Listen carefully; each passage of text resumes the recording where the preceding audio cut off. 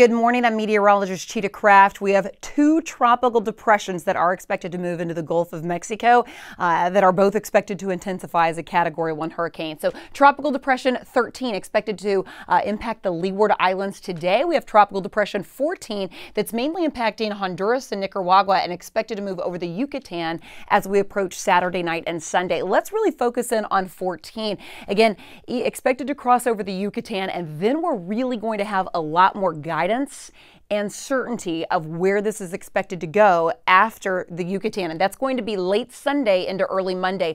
But right now and through the weekend is time to make your plans and preparations as we are in the cone of uncertainty from the National Hurricane Center all along the Texas coastline through Louisiana, bracing really for a category one hurricane. Again, at this point, because model guidance is uncertain, so is this forecast. This is going to change. So do not expect that to stay the same. In fact, let me show you some of the spaghetti plots are uh, the models that we continue to watch. This is uh, taking into account the upper level wind flow as well. And notice how this is saying, hey, this could be a southeast Texas towards Louisiana landfall, but bottom line, we're going to have a big source of moisture early next week, bracing the Gulf Coast. Let's get back to 13. So, Tropical Depression 13 at this point, expected to move across the Leeward Islands into early next week, brush the Florida coastline, and then could potentially be more of a Mobile, Alabama landfall. We'll have to continue to monitor. It's expected to become a Category 1 hurricane as well. At this point, two depressions, and at either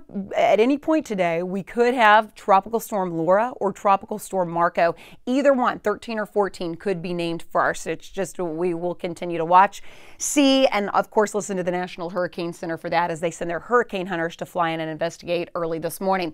Two areas of high pressure that going to, are going to act more of like a tug of war. So because of the upper level winds, the really warm waters all across the Gulf of Mexico, it's going to make it conducive for development, but as far as the landfall goes, it's tough to tell you exactly right now. This is what we can say through the weekend.